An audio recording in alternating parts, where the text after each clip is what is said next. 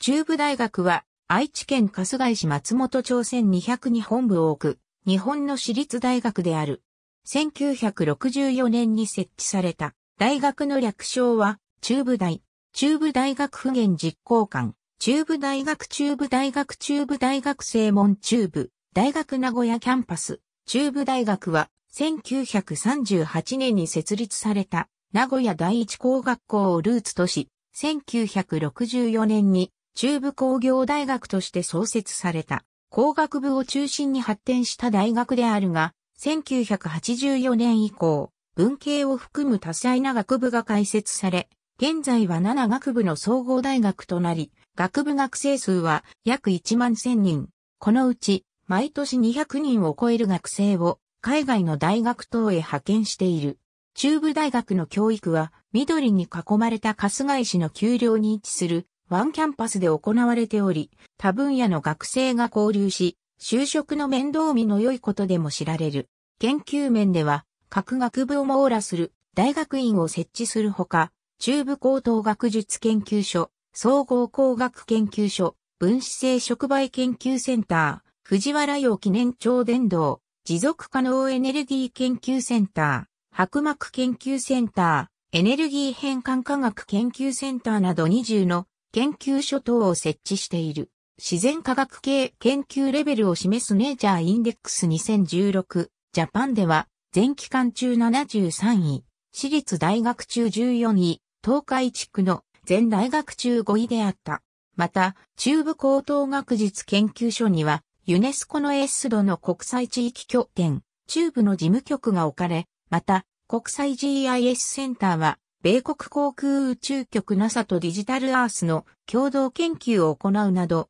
国際連携活動が盛んである。スポーツでは、ハンドボール部、剣道部は毎年全国大会に出場し、ハンドボールは2014年に全日本学生ハンドボール選手権大会で優勝している。公式野球部は2017年6月現在2度の全国大会に出場しており、プロ野球選手を何人も輩出している。人工芝の全天候型グラウンドで 400MX6 コースの本格的トラックを持ち、4階建ての武道体育館が真相なるなど体育施設が非常に充実している。地域との連携においては2013年から文部科学省のプロジェクト国区地の拠点整備事業に採択され高齢化している高蔵寺、ニュータウンや春日井市と連携して6つのプロジェクトを進めている。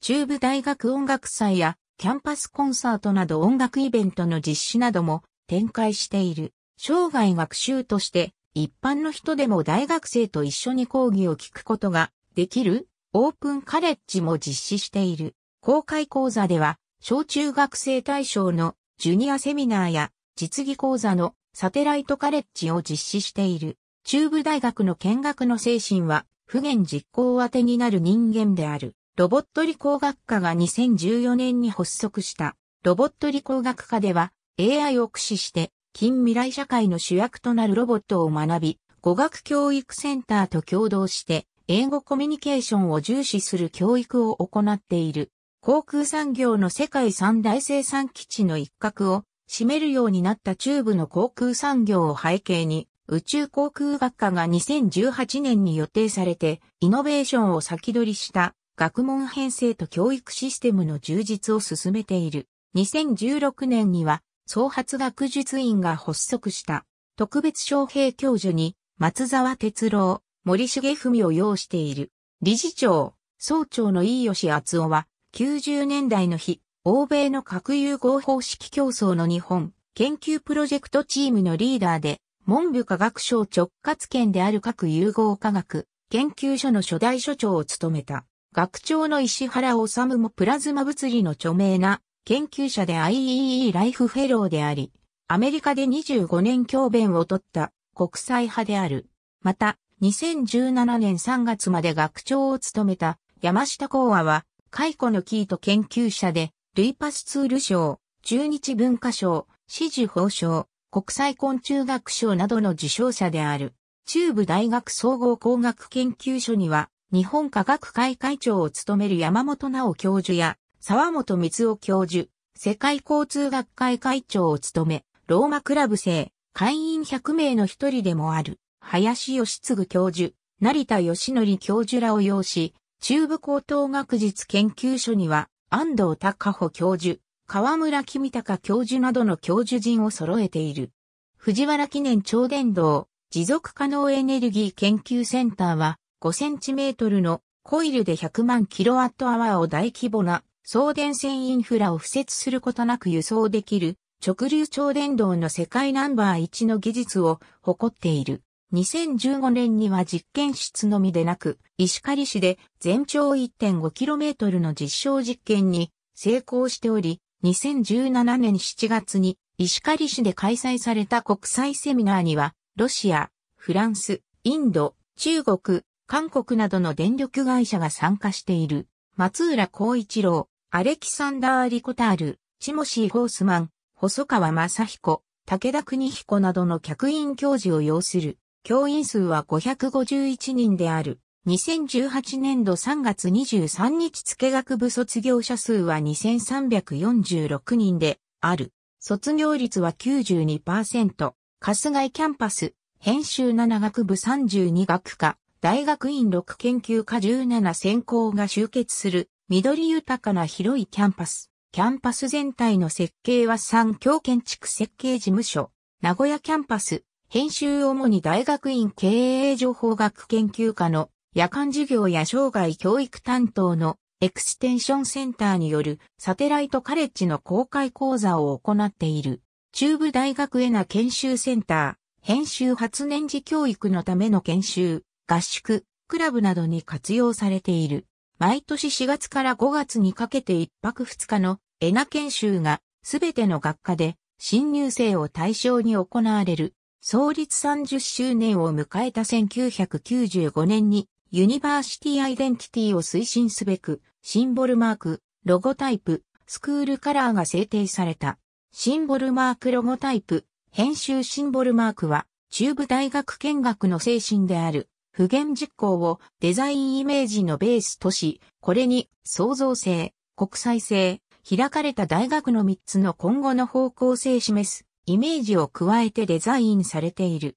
また、ロゴタイプ、中部大学の印刷物に使用されるもので、シンボルマークと同様に、中部大学のアイデンティティの確立を目的としている。スクールカラー、編集スクールカラーは、中部大学、ブルーと呼ばれ、分解色 C100%M60%、印刷カラーチップディク641と定められている。組み合わせて使用されることの多いシンボルマークとロゴタイプの表示色には、この中部大学ブルーが使われる。この色は若さや爽やかさ、そしてワールドワイドな地球をイメージさせ、創造性豊かな気質を表現いるとされる。スクールバスのデザインに、このロイヤルブルーに近い色のバスを数台使用していたが、バスの移籍や運行体制の変更などにより、中部大学での使用はなくなった。現在は併設校中部大学第一高等学校のスクールバスとして使用されている。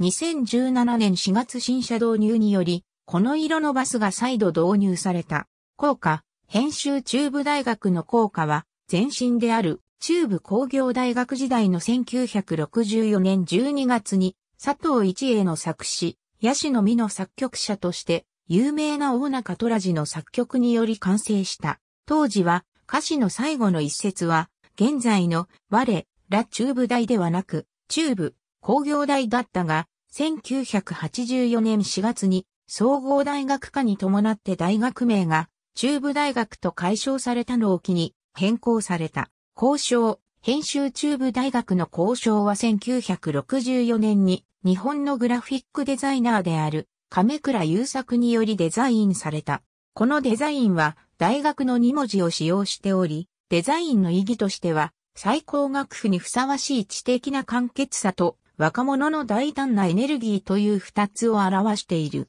後期、編集後期は1966年に制定された。この後期の意義は交渉のものと同様で、最高学府にふさわしい知的な簡潔さと若者の大胆なエネルギーという二つを表している。マスコット、編集マスコットは、チュトラ、2013年8月4日に誕生。生みの親は、当時中部大学併設校の春日級高等学校3年生だった、鈴木夏樹。チュトラという名称の由来としては、中部の虎という説が有力。虎である理由は、学園創立者、三浦公平の干支が虎だったためと言われる。中部大学マスコットキャラ、チュトラには、以下のようなキャラクター設定がある。1語尾は、チュトラ。2春日井キャンパスが立つ丘は、昔、桃園だったため、好きな食べ物は、桃。3胸に輝く、地の文字が、チャームポイント。4出没スポットは、中部大学内。学部、編集大学院、編集研究所、編集付属機関、編集開館時間2019年度。学期中月曜日から金曜日、午前9時午後9時土曜日、午前9時午後4時50分休業中月曜日から金曜日、午前9時午後4時50分土曜日、午前9時、正午休館日2019年度日曜日、祝日開学記念日学園創立記念日学期及び、冬季休業中の一定期間私立大学学術、研究高度化推進事業、編集協定校アメリカ、合衆国アルジェリア民主人民共和国インド共和、国インドネシア共和国オーストラリア連邦スイス、連邦対応国大韓民国中華、人民共和国チュニジア共和国ドイツ連邦共和国、ネパール、連邦民主共和国ブータン王国フィジーフランス共和国マレーシアメキシコ、合衆国モロッコ王国リトアニア共和国ロシア、連邦提携校カナダイギリス単位互換協定校、単位互換に関する包括協定に基づき、愛知県内の国交私立大学で開講されている講義を履修でき、取得した単位は、中部大学の単位として認定される。キャン私立大学コンソーシアム、中部大学、愛知学院大学、南山大学の3校の図書館で結成された。図書館活動のコンソーシアム、加盟する3大学の学生、教職員は、それぞれの図書館を紹介状なしで自由に利用でき、資料を借りることができる。学習支援室。学習支援室では、数学、英語、物理、化学といった基礎科目のわからないところを担当の教員に教えてもらうことができる。オフィスアワーオフィスアワーとは、学生が学部学科に関係なく、希望する先生に様々な事柄について相談できる時間帯。講義でわからないところも聞くことができる。 PASEO PASEO とは、 Preparation for Academic Study in English, Overseas の略称で、中部大学独自の英語教育プログラムである。4つのコースが用意されており、自分に合ったコースで学ぶことができる。学んだ英語を留学プログラムで活かすこともできる。全国各地から入学する1年学限定で個室タイプの学生寮がある。学生寮は春日井キャンパスの南西、高台の閑静な一角にあり、各部屋は南に面し眺望も雄大。鉄筋コンクリート作り3階建ての北寮と4階建ての南寮の2棟からなり、食堂、浴室など各種設備を完備している。定員は1年生男子限定で、年度ごとに人数が異なる。居室は58室。個室内には机、椅子、ベッドが備え付けられている。クーラーは全室完備されているが、使いすぎると設定温度を上げられる。扇風機、冷風機などは自費で購入して利用できる。入寮した際、いくつかの班に分けられ、班ごとに班長を決め朝礼などをまとめる。学年で一人リーダーを決めリーダーは3年まで残る。スポーツ大会やバーベキュー、餅つきなど、寮生を対象としたイベントもある。入寮は、新年度の春学期のみで寮の在籍は1年間。寮生活にかかる費用は、入寮費、食費、寮費27万円の合計で28万円2018年度。朝食は7時30分9時まで、夕食は5時30分8時まで、入浴は深夜0時まで、両則により門限が一応決められている。中部大学では23カ国46大学、機関に留学することができる。2018年4月6日現在、大学間協定大学、機関ラロシェル大学、エンサーブまとめか、アルジェリアオラン工科大学、ムハマドゴセイ大学、フリードリヒシュラー大学イエナ校、ビタウタスマグナス大学、カトマンズ大学、国際総合産学開発センター、タタ基礎研究所、インド工科大学、クワーハーティ校、ブータン王国再生可能自然資源研究評議会、アジア工科大学院、マレーシア科学大学、ガジャマダ大学、オーストラリアニューイングランド大学、外交学院、ハルビン理工大学、マドカ工大学校、中国加藤師範大学、加工学院、商工分離大学、ミシガン州立大学、ウェストバージニア大学、オハイオ大学、グアナフアト大学、部門間協定大学、機関アンキリ工大学、ハルビン工業大学、道積大学、花電電力科学研究院、中国科学院、電気工学研究所、チュニスエルマナール大学、道積大学石膏大学、チュラロンコン大学、モンクトー工科大学、ラートクラバン校、東北大学、シャクアラ大学、統一エネルギーシステムロシア連邦送電公社、研究開発センター、ヨハネス・グーテンベルク大学マインズ、フィジー国立大学、チューリッヒ大学、ラジャマンガラ工科大学、クルンテープ校、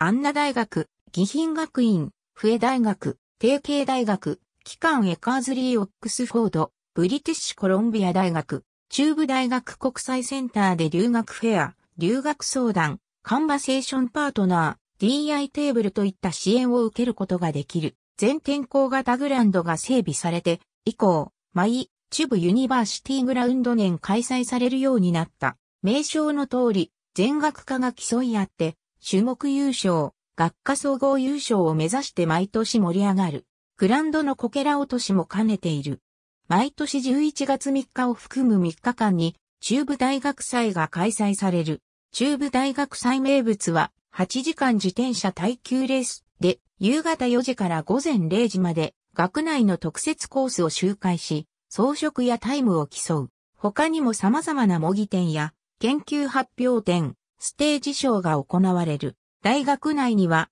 マルゼン、セブンイレブンコンピュータプラザフューチャーイン、郵便局、トラベルプラザイタリアントマトカフェジュニアといったお店が入っている。第1第3学生ホール、21号館、51号館、学生ホールには、それぞれ特色ある食堂を設けて、バラエティに富んだメニューを安価に提供している。また、キャンパスプラザ1階には、マクドナルドがある。各学生ホールには、自動販売機コーナーがあり、売店やセブンイレブンが入っている。学生ホールもある。中部大学には、運動系公認クラブ32団体、文化系公認クラブ29団体、及び、その他の公認団体4団体を含め、合わせて65の以下のクラブサークル団体が存在する。また、クラブの登録制度があり、クラブ、同好会、準備会の3段階に分けられる。クラブ設立は、参加人数が20名以上で、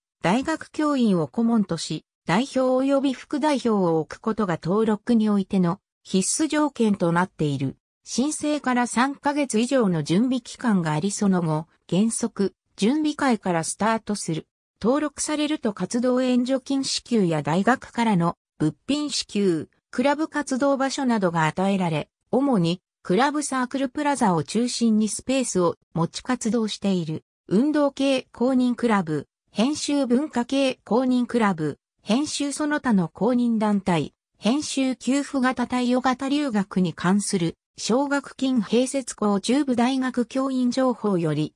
2019年5月7日、国内ベンチャー企業のインターステラテクノロジズ株式会社が開発した小型観測ロケット、モモの発射に成功。国内のベンチャー企業が開発した観測ロケットが宇宙空間に到達したのは初。このロケットには、中部大学工学部宇宙航空工学科の海、追沼拓司准教授が開発した GPS 用の受信機、ファイヤーフライが搭載されている。広報資料、プレスリリースなど一時資料、編集、ありがとうございます。